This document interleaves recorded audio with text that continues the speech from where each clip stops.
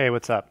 This problem is a little bit uh, more challenging. So it says find the equations of the tangent lines to the graph of f of x equals x squared that pass through the point 1 comma negative 1. So solution. So in problems like this, um, the first thing you usually do is you draw a picture. A picture usually helps you figure out uh, the problem. So there's the x-axis, there's the y-axis. And let's draw the graph of uh, x squared. So maybe x squared looks something like that. So that's the graph of y equals x squared. And the tangent lines pass through the point 1, negative 1. So here's 1, negative 1. And so maybe our, one of our tangent lines would look something like this. That's, that's a rough tangent line. And then the other tangent line maybe would look something like this. That would be our other our other tangent line. So we have two tangent lines and we have to find them, right? We have to find them, right? So tangent lines to the graph of this function that pass through 1, negative 1. Okay, so we know that the slope of the tangent line is the derivative. So we know that. So we know that the slope is going to be 2x, right? Because the derivative of x squared is 2x. So the slope of the tangent line is 2x. So now we need another way to find the slope. So I'm thinking we can think of this as an ordered pair, 1, negative 1. And we can think of this as x comma y, right? x comma y. But in this problem, y is equal to f of x always, right? So it's, so it's x, x squared. And now we can use rise over run, right? So slope is also equal to rise over run. So you subtract the y values. So in this case, it would be x squared minus negative 1.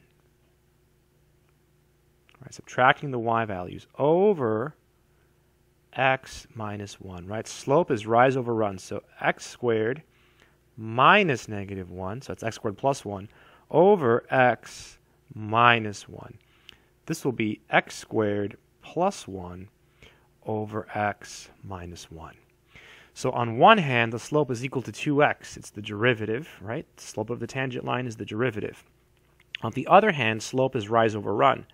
Therefore, these two equations must be equal, right? So this implies this implies that 2x is equal to x squared plus 1 over x minus 1. And now we have to solve for x. So let's see. I'm thinking we can multiply by x minus 1. So let's try that. Then we can distribute the 2x. So we would get 2x squared minus 2x. These cancel, and here we get x squared plus 1.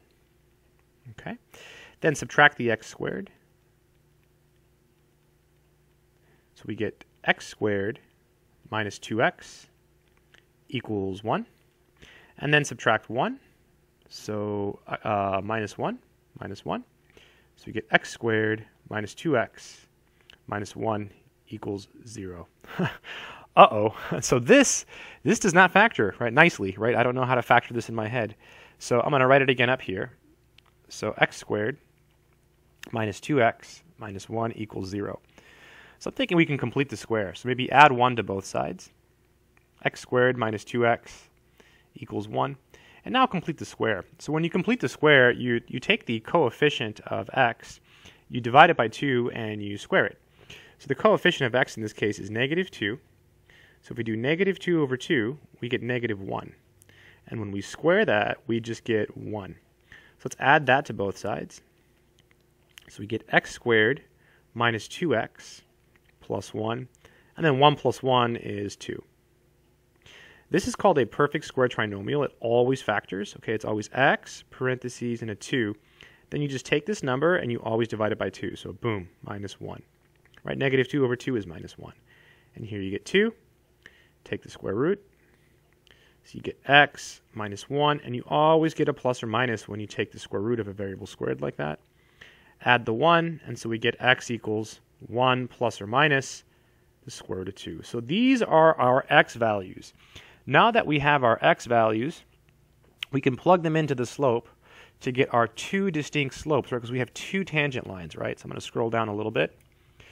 So for, let's do each one individually. For x equals 1 plus the square root of 2,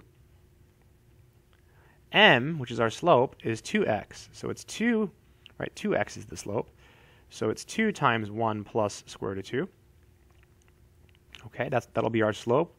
So it's 2 plus 2 square root of 2. So we have our x, we have our slope, m.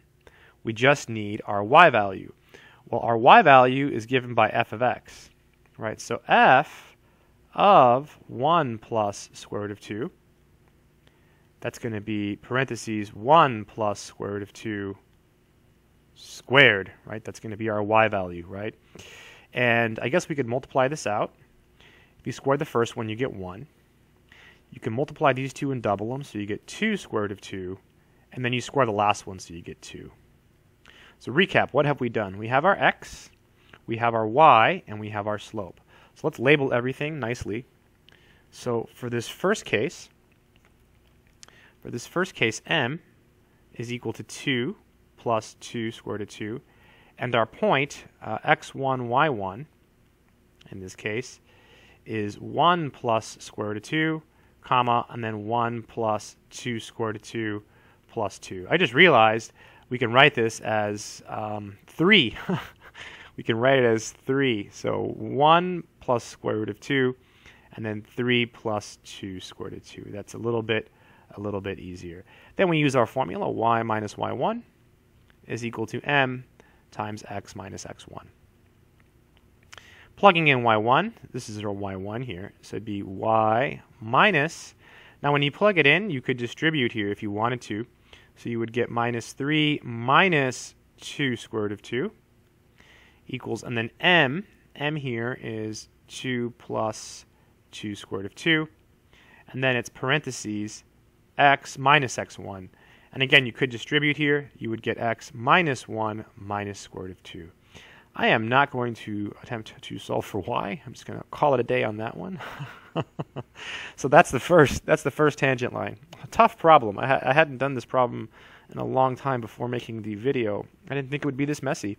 Uh, for the next one, for x equals, and it's up here, so it's minus. So it's 1 minus square root of 2. m in this case is 2 parentheses 1 minus square root of 2 so it's 2 minus 2 square root of 2. And then we need the y value. Well, to find the y value, you just take your x and you plug it into your function, right? So in this case, it would be 1 minus the square root of 2 quantity squared. You square the first one, you get 1. You multiply these and double them, so you get minus 2 square root of 2. Square the last one, you get 2. And again, we get 3 minus 2 square root of 2. So going to our formula, we have, going kind of fast, y minus y1 equals m x minus x1.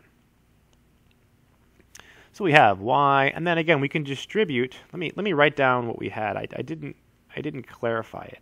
So there's our m, and then our x1 y1. Our x1 was this, and our y1 was this. There we go. There's our x1, and there's our y1. Got ahead of myself. So we need we need these things for for this equation. So y1, you can distribute the minus. So it's minus 3 plus 2 square root of 2. Then m was parentheses 2 minus 2 square root of 2. Then it's x, and then it's minus x1. So minus 1, and when you distribute the minus here, this becomes a plus. So you can see the, the equations are very, very similar looking. So those would be the equations of the tangent line. So recap recap, the most important thing in this problem is that um, you know how to do it at the beginning, right? So this picture, right? Draw the picture. The slope is 2x, and the slope is also rise over run. This is the key step. You know, when you when you set these slopes equal, right? When these are equal, if you figure that out, you can probably grind through the rest. That's it.